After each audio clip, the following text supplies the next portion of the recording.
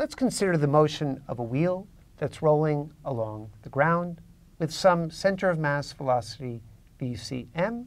And because the wheel is rotating, it has an angular velocity. And you can see that that vector is directed into the plane of the board. Now, what we'd like to do is consider the kinetic energy of this continuous body. A little bit later on, that body has moved some distance. And what we want to consider is the fact that not only is every point in the body moving with the center of mass speed, but there's this additional rotational energy that's associated with the fact that every point in the center of mass reference frame is undergoing circular motion. So how do we describe that?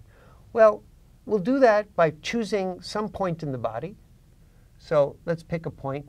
We'll call that mj with mass mj. And the velocity of this point, remember, has two components. Um, to simplify it, we'll give ourselves a little more picture here. The point has, every single point in the object has the VCM. But because this object is undergoing circular motion, there is VCMJ. That's the rotational circular tangential velocity. And so the vector sum of these two is the actual velocity Vj of the jth object. Vj is equal to the center of mass velocity plus the tangential rotational velocity that it has because it's undergoing circular motion. And now what we'd like to do is calculate the kinetic energy of this object. Well, the kinetic energy is the sum j from 1 to n of 1 half mj times the velocity of this jth particle squared, which we can take as a dot product. So we can write that as VCM plus VCMJ dot VCM plus VCMJ. And that's just VJ squared. So when we look at these terms, it looks complicated at first, but there's some nice, there's going to be VCM dot VCM. There's two cross terms, they're identical, and VCMJ dot VCMJ. So let's write out those three terms. We have 1 half mj. VCM dot VCM is VCM squared. Now, every point in the object has the same VCM, so we can pull that one out of the sum. And now we have, we'll take these cross terms. So we have the sum over j from 1 to n. There's two cross terms, so the 2's are going to cancel. And inside here, we have the, we have to remember to keep our mass element. That's important. Now, I'm going to write it as mj, VCMJ vector. Now, remember, when you dot with VCM, every single point has the same VCM. Every jth element has the same VN, so I can pull that VCM outside.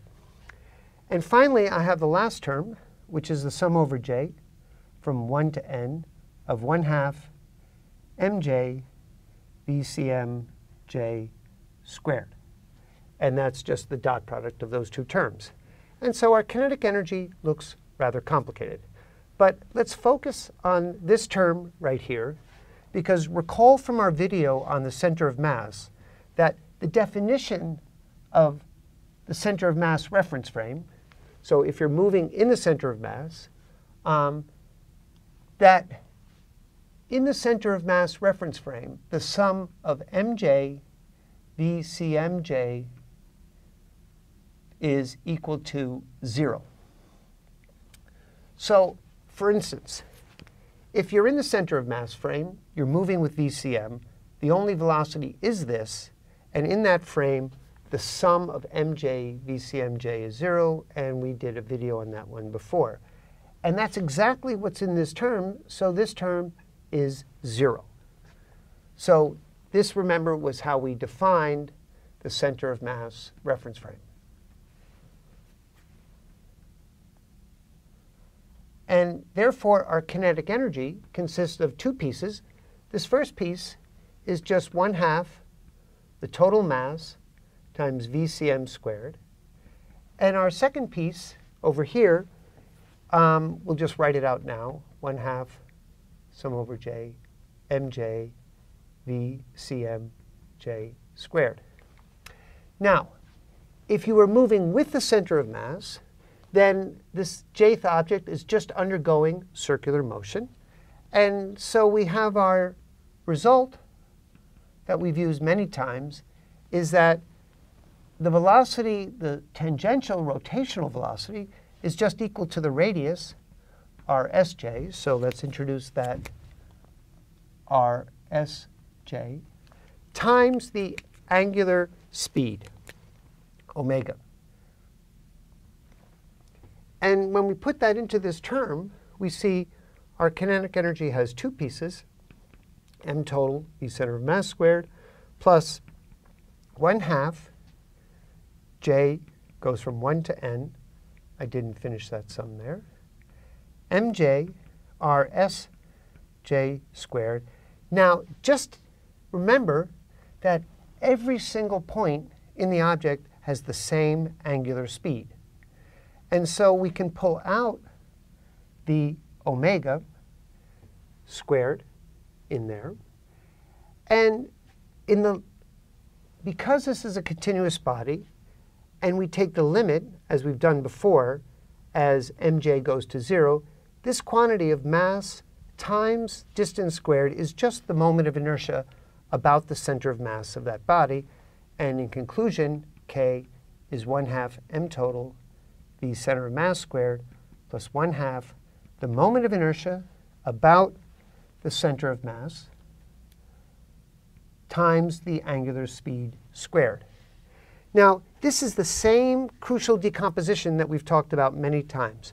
This first piece is what we call the translational kinetic energy because it just represents how the center of mass of the, is moving. And the second piece is what we call the rotational kinetic energy because it's a representation of just the kinetic energy of rotation. For example, if you were in the center of mass frame, there would be no translational energy, and this would be the only kinetic energy.